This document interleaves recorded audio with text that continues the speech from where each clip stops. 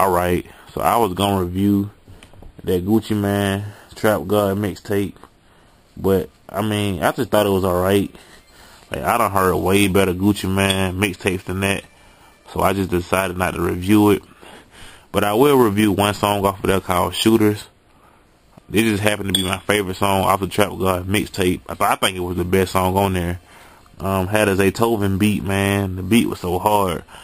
Like, I give Zaytoven his props, man. He like the best producer when it comes to making trap music. Only nigga that's fucking with him is probably Lex Luger and Young Chopper. But like I said, I salute yo, salute to Zaytoven, man. That nigga beats go hard. And whenever him and Gucci Mane make a track together, it's like almost guaranteed to be like a smash or just a hit or something like that. But these dudes, they weren't really rapping about nothing but trapping.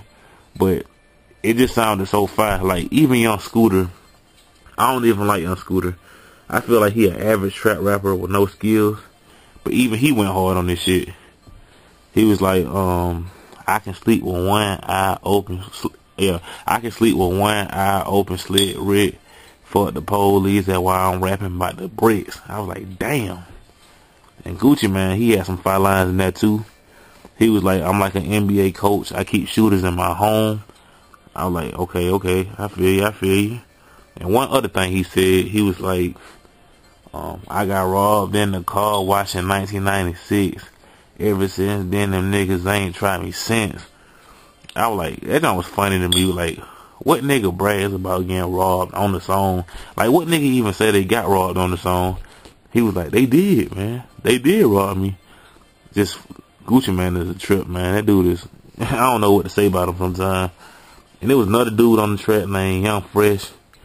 He was kind of garbage, but like this beat was so fire. Like you can say anything on this beat and it would have sounded good. So like he didn't mess the song up too bad. But um, one to ten, I had to say this is about an eight. The best song on Trap God in my opinion. Like every time I go listen to it on my iPod, I skip straight to this song. Like it remind me of the old Gucci when he first started. This shit bang to me, man. It's like I don't know. You gotta check it out. Just tell me what you think about it.